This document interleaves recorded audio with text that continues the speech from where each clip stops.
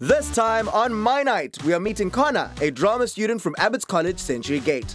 Connor is passionate about history and literature, and his teachers describe him as one of the most enthusiastic learners at school. Another thing he's enthusiastic about are wheels. Will he get the car he wants for his matric dance? Catch him as he prepares for his big evening. My Night every Friday afternoon at half past three, only on SABC2.